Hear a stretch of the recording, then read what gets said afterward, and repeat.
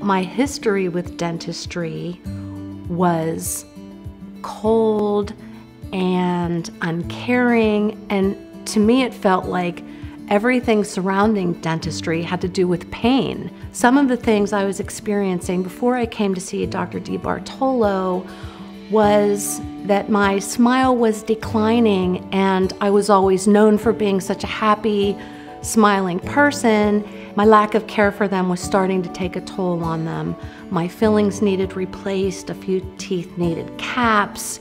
I just hadn't taken care of myself and I was scared. My jaw was aching, and what we realized was that I needed root canals on both sides of the top, so I could never even really figure out where my pain was coming from. Dr. DiBartola specializes in sedation dentistry, and when he said you could do them in one day, be asleep, and it would be done, that was a miracle for someone like me. If I had seen a dentist like Dr. DiBartola when I was a little girl, there would have been no fear growing up. And I'm thankful that my children have come here and now they get procedures all the time with no sedation, which he does it as well.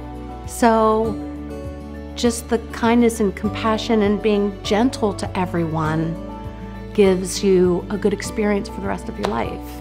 If your mouth is in pain, if you're feeling like your smile is not the 100% smile that you were always used to, it's so worth coming to see Dr. DiBartola because it's not scary. There's so many options for you to choose from. You really will feel like you're walking into a family type environment where everybody is just here to help you and make you feel better and help you be the best person you could be.